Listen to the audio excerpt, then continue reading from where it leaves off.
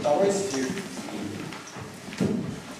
И преобразился пред ними, и просияло лицо его, как солнце, а одежды же его сделались белыми, как снег. Вот сейчас читали апостольское чтение Петра. О преображении больше ни один апостол не упоминает. И то, что читалось, вот если бы это, что Петр сказал сегодня, разъяснили, в церкви наступило бы преображение. Ведь о Христе свидетельствует на земле три, Иоанн говорит. Три свидетельства. Что? Кровь, вода и дух. Где кровь? Где вода? Вода при крещении. Когда Христос крестился, и с неба был глаз сей есть Сын мой возлюбленный. Это утверждение авторитета, чтобы ему поверили, что он и Отец одно. Что не сам пришел он, а его послал Отец Бог Иегова. Вот один свидетель есть. Событие, названо свидетелем. При кресте, ну, при кресте, ясно, погасло солнце. И перед тем, как идти на крест Христу, какие были события? Кровь. При крови тоже было свидетельством, что Христос угоден Отцу Небесному. Погасло солнце, разодралась завеса в храме, мертвые воскресли. Второй свидетель. А третий где? А третий вот, когда Христос в духе был показан. В духовном. И дальше. Петр, когда говорит, от великолепной славы принесся глаз. На преображение никакого внимания не обращает. А вы что сейчас поете? Яко же Мажаху, Христос на Святой горе, о словах Бога Отца и Бога вообще ни одного слова в песнопении нет. Это монахи составили. Они забились а там, вот они те три кущи Бог им не разрешил, а они построили эти монахи кущи-то. И вот они думали, три кущи Моисею одну, так, один балаган сделали, надо второй делать. Или, ну один Христу, конечно, Христу надо побольше, он начальник. У них положение-то было незавидно, а их трое там было. Ну и как, а где вы будете однажды спасать? Видимо, каждый думал, кто ближе. Один у Христа будет прислугой. Дальше-то рассуждения какие-то у них были. Не на один же день шалаш-то. Если мы куда-то поехали на рыбалку, ну мы там через полчаса обратно пойдем назад, ну зачем мы будем там шалаш-то делать? Они же не палатку раскинули, а разборные, а ее делать надо было. Рубить надо было слеги, поперечной, траву надо было, с собой ничего нет. А мы сделаем. Лишь бы только к людям хотим, как окаянным не идти. Это же монастырь в готовом виде. И они там будут прислуживать, послушниками будут. И когда Петр говорит о славе Христа, почему это сейчас считалось? А он говорит, впрочем, мы имеем вернейшее пророческое слово. Впрочем, то есть, что, что я говорю, это даже не на первом месте. Что тебе надо, когда имеем пророческое слово? Смотрите, в самом уже послании-то заложено было, что обратить-то внимание на слова надо было. Его слушайте. Ни в одном песнопении этого нет. Поэтому не слушают. У нас должна быть ревизия в самом богослужении. Притом кардинальное, капитальное изменение. Преображение должно быть в самом богослужении. В другое русло надо направить сегодняшний праздник. Апостол Павел говорит, впрочем, что означает? Допустим, отец наказывает сына что-то, ты должен, потому что я старше тебя. Да, впрочем, что тебе объясняет, это сын мой. Впрочем, означает все остальные доводы менее. И здесь он говорит, впрочем, вы имеете вернейшее пророческое слово. Вы имеете его. А сегодня эти слова нельзя сказать Петру было.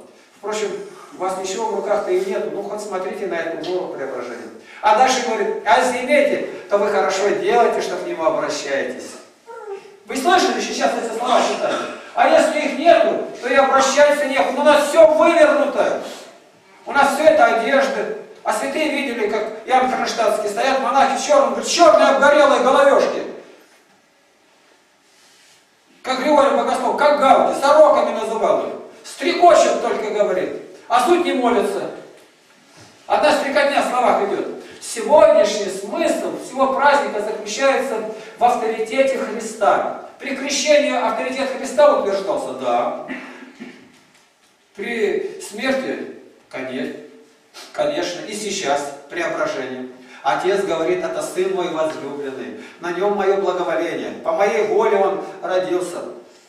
Он выполнил, он навык послушанию, до смерти крестной. Я его посылаю, он умрет. Отец мой, зачем ты оставил меня? Потому что все грехи мира были на нем. Но на нем его благоволение Божие. Бог Отец от него не отступил. Вот что заключено сегодня здесь. Приближалось время исшествия Христа из этой жизни. И снова авторитет Христа Отец устанавливает. И Христос им запретил что говорить? О видении. И запретил говорить, что видели, а не то, что слышали-то. А получилось наоборот. О видении говорят, а о словах Христа не. Все вывернуто. Начинаешь, когда исследуешь, и ни, ни Златоуст, ни Феофилакт об этом не говорят. Я смотрю все Григорий, Богослов Григорий, Низкий, прям ни один святой отец про это не говорит, ни Антоний, ни Макарий. Почему? Все монахи были. Монашество все это заглушило. А видение? Засиделись там, ну такие кущи-то построили, построили крепкие кущи с каменными стенами, с бойницами. Его штурмуют поляки, не могут взять Сергию Лавру, сколько времени. Больше года штурмуют свой Пещерский монастырь, войска Ивана Грозного не могут взять. Это не просто так. Это огромное сооружение, целые комплексы. Его слушайте. Да если бы 57 тысяч монастырей там, в царской России, да 1250, хотите сказать, было храмов, и 1250 монастырей. Да ведь там сколько же всего было? Сколько всего понастроено? Сколько художников жизни отдали строя это? Самый главный орган, который должен преобразиться у человека, это язык. Язык. И ты мысленно воображай о том, что говорятся, говорится. А язык говорит слова, которые ты уже должен ушами. Уши для тебя самое главное. Ты же молчишь в храме. Жены ваши да молчат, поэтому уши слушайте. Почему Христос постоянно и говорил, кто имеет уши слышать, да слышит. Это сакральная фраза. И никто не подошел, Господи, а что означает уши у меня? Ни один не спрашивает. Как раз этот вопрос и надо было задать после слова Христа. Господи, а у меня уши язык. Есть они у меня там духовные? Давид говорит, однажды сказал Бог, и дважды слышал я это. Этими ушами услышать, и надо уразуметь. А то имеет глаза, не видит, имеет уши, но не слышит. Как же русские-то люди, разве не слышали? Слышали. И написано, стали лить колокола. Я говорю, а когда колокола-то пришли? Я сейчас так и сидел, литературой занимался. Но считает, что 4 века там с одного епископа компании, их называли сначала э, не колоколами, а била были разные. В них надо было бить. И начали, как только пришли монахи с Византии, сразу начали колокола здесь устанавливаться. И без колокольного звона не рождались, не умирали, ни праздников не было, везде колокола. Ведь если столько тысяч храмов, то в каждом храме не один колокол был. Даже в Барнауле сейчас в каждом храме большой колокол и маленький колокол. Это сейчас разные способы, формовки делают, а тогда ведь не так было. А как они делали? Ну, сначала форму сделать, глина, крахмал, еще одно составляющее было. Спрашивают, а что вы добавляете? И благодать. Вот куда благодать применили. Глина, крахмал и благодать. Потом обручали, стягивали и начинали лить колокола. Вот царь колокол стоит. А до царя колокола еще было таких три. Вот идут большие вагоны, пульманы. Это 60 тонн. Колокол весит 200 с лишним тонн. Это три вагона. Его начинают поднимать но не знает по какой причине копеечная свечка загорелась не так, не так, у одной песчанки. И загорелись леса, стали тушить, говорят, упал, а другие говорят, воду лили от перепада температуры. Ну, небольшой осколок откололся, 11,5 тонн. Да на вашу машину-то 11,5 тонн даже не погрузишь. Это осколок. А для чего этот колокол нужен? Людей призывать. И когда лили этот колокол, Рядом стояли на страже 400 пожарных на случай пожара, чтобы потушить. Ну вообрази, в деревне сейчас 400 по форме одетых пожарных стоят. А тогда-то на лошадях это не просто пожарные, а с бочками, бочка и лошадь. И на это пошли. Дальше. Вот колокол, когда звонит, внутри там железка такая двигает, и ей бьют, качается. Это называется язык. А это как шлем надетый на голову. Этот язык раскачивали 24 человека. В одну сторону 12 и в другую. Да если бы этих 24 человека послать, они бы языком говорили о славе Христа, неужели меньше пользы было? 24 человека, вообрази, они больше ничем не занимались. А чтобы одинаково дернули, должен быть режиссер еще палкой махать. Давай, мужики. Это все для славы Божией было. По окружности колокол 19 метров. Это в одну сторону надо раскачать язык, а этот язык, который бьет 4 тонны. Этот язык, этот железка, которая ударит и обратно пойдет. 4 тонны. И перед всем миром идет похвальба. А удар какой, уши затыкают. А как ударит, как гром. Да у Бога-то сколько раз за лето был гром, какие же колокола-то нужны? Так аж присядешь. Это все напоминание об отсутствии проповеди. Да можно было 2000 тонн сделать колокол, а проповеди нет. А язык-то он весит граммы, а он говорит о Христе. Вот что необходимо было преобразить. Делает колокол. Первый. Заливает медь. Почти 200 тонн. И она все уходит в землю, меди нигде нету. Второй начинает лить. Отец умирает, передает сыну. Речь шла о годах. Подготавливая на колокол, изображение будет царя. Потом шлифовать будут его два года. День и ночь трудиться. С чего только не придумают люди, чтобы только не проповедовать. Послание же к Римлянам 12.2 написано, не сообразуйтесь с веком сим, но преобразуйтесь, преображение, обновлением ума, ума вашего, чтобы вам познавать, что есть воля Божия. Как будто об этом никто никогда в России не молился.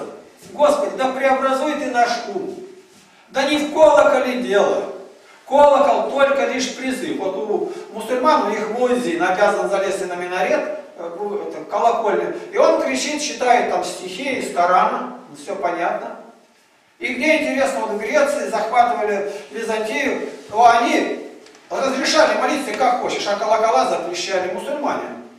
Вводили запрет, коммунисты вели запрет и ничего не поняли. Как только советская власть отошла, специальный завод, Липецкий какой, опять лепят и лепят. А что на тех заводах делали? Я опять начинаю искать в литературе и нахожу. Лили колокола и пушки. Больше завода ничем не занимались. Из пушки убьем, а колокол вот поем. Но ни то, ни другое слава Христу-то не приносило. Преобразуйтесь. Ну, на мы же серебро добавляем в колокол, а в пушке, а в, кол, а в пушке цинк. Вот вся такая разница была. Один и тот же плавильный аппарат, одни и те же люди, знаменитые, получали оклад от царя, а потом 24 человека были привязаны веревками, здесь они качали этот язык. Это российская святость. И вот теперь к этому осколку у Кремля подходят и смотрят. А никто не знает, что это осколок и сам колокол-то еще, сколько там под землей было, пока их вытащили оттуда. А если бы преобразовали сейчас, и сегодня в храме бы сказали об этом, вы сказали, не ходите, не смотрите. Ну, да, мысленно вообразим, большой самый колокол царь, но если по земному апостол Павел, по небесному Христос. Да сделайте маленький колокольчик, как в школе собирает. Если говорить так, то колокола это проповедники. Отлейте таких проповедников, пошлите по всему миру, пусть их язык призывает на благовестие. Во втором Коринфянам 3.10 Павел говорит, мы же все открытым лицом, как в зеркале, взирая на славу Господню, преображаемся в тот же образ от славы в славу, как от Господня Духа. Значит, вот где мы, как в зеркале, смотрим на Христа и отображаемся, взирая на славу Господню, а Он показал якоже Мажаху. А что значит, насколько человек мог выдержать? на славу. А на слова Христа ничего якоже Божаху нету, это только наведение. А человек уперся в эту славу, а дальше перевел на желудок, спас, мед, яблоки. Сегодняшний праздник весь заключается в словах Христа. И тогда он оправдан, имеет смысл. Его слушайте. Нам авторитет Христа не надо утверждать. Мы верим, что Иисус Христос посланник Божий.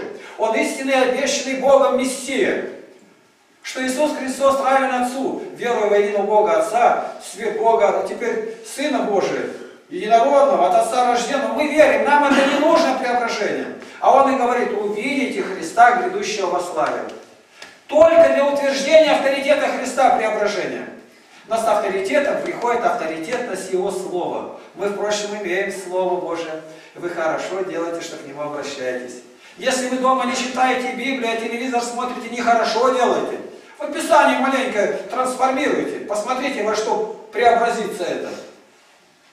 Мы преображаемся в тот же образ от славы в славу. От Его славы, Его слава дается нам. Вчерашние, какие мы были, мы сегодня еще более делаемся жертвенными. И будьте благодарными. А то я слышу такое, что вы умеете очень сильно просить что-то. А как вы просите? И здороваться не здороваетесь с человеком. Такие позорные слова мне пришлось выслушивать. Ты если кому-то обращался, тебе помогли, ты до смерти будь благодарен. А тот человек после тебя сто раз будет делать недоброе дело, пакости, ты это все забудь. А то доброе дело на первое место держи. Я в горах полз, умирал от голода, дополз до первого сарая, как сейчас помним. И хозяйка несет помои, и лежу в помоях, свиньям несет она что-то, и кусочек плавает. Я протянул руку, кусочек дай, она мне не дала. Я пополз к другому двору, я не могу на ноги встать. Мы двое ползли. И там нас накормили, я тоже за столом уснул. Как бы мне пробраться туда? Прошло уже 40 с лишним лет. Как бы мне найти тех людей, которые хлеба мне кусок один дали? И я приобрел силу, и я дошел до города тогда. Ты помни все. Кто тебе Слово Божие говорил, как ты услышал особенно. Мы обязаны всем, что у нас есть Иисусу Христу. Тем людям, которые перевели нам на понятный наш язык тем, которые проповедовали, те, которые заботились, преподали крещение. Мы должны все состоять из одной благодарности. Тем более благодарность денег не стоит быть благодарным. К филиппийцам 3.21. Который, то есть Господь, уничиженное тело наше, когда мы воскреснем, преобразит так, что оно будет сообразно славному телу Его, силой, которой Он действует и покоряет себе все. Когда святые отцы толкуют это место, у них на первом месте стоит О. О, подумать страшно. Наше вот это тело, гниющее, болящее, отсутствующие члены, руки, ноги нет, все будет по-другому. Ты болеть не будешь, все будет другое, чистое, святое. Наше тело преобразится. Сегодня оно не преображается. Вид, может быть, лица преображается, как у Серафима, у Моисея. Но это Бог иногда дает, допускает такое чудо, чтобы отблеск славы своей явить на земле. Премудрость Соломона 19.6 говорит так, что преобразуется вся тварь, снова свыше преобразовалась в своей природе, повинуясь особым повелениям, дабы сыны твои сохранились невредимыми. Иногда Бог как-то делает в природе, все будет выглядеть по-другому. Это было при исходе их из Египта. Вся тварь преображается, огонь не, не жег, притом огонь был в воде, вода не заливала огонь, Вокруг и везде падают мертвые, и в Израиле ни одного раненого нет. Преобразуется сама природа. Небо чистое, падают камни. Люди бегут через лес, а выше партизанят в лес спасаться. Вдруг дерево на дерево падает, всех подавило. Больше, чем убили оружием. Сама природа преобразуется на помощь верующим. С нами такого может быть и нет, а ты благодари Бога. Как Бог все делает. За одно послушание скотине только нам никогда не отблагодарить Бога. Вообрази, что скотина это сделалась бы зверской. Она, скот и зверь это разные. Зверь это дикая, скотина домашняя. Да ведь одна корова могла тебя порешить. Прободала бы и все. Любой конь быстро развернулся, ударил копытом, и от головы ничего не останется. Собака тебя своя может истерзать и съесть. А Бог так сделал. Природа преобразуется и худшее, и в лучшее. То есть признаки преображения мы видим в животных. Марка 16.12. После сего явился Христос в ином образе двум из них по дороге. Преображение заключается даже во внешнем виде у Иисуса Христа. И они его не узнали. А нам Господь явился в том виде, в котором мы узнали, в уничиженном. Его в таком виде многие не принимают. Он себя не мог спасти, какой-то плотник, кого вы верите. Вот под этим образом скрыт наш Господь был. И сегодняшний день, он напоминает нам, что вот этот праздник преображения, он должен войти внутрь нас. Мы духовно умом, делами, руками, ушами, глазами, всем должны преобразиться. Тело остается тоже. Конечно, у верующего тело, если возьмут на анализы у неверующего, оно ничем не отличается. Но иногда отличается, что в нем алкоголя нет. Повторяю, что никакого пива, ничего у верующих в доме не появлялось, никакой брашки, ни грамма. Не приведи Бог умереть хотя бы с малым опьянением, ты в ад пойдешь, как пьяница. И тогда мы скажем, этот день напоминания о преображении правильно установили святые мужи. Только неправильно указали на основную его часть. Его слушайте. Что он нам говорит? А он говорит так, я есть пастырь, а вы овцы. И овцы мои слушаются голоса моего. Аминь.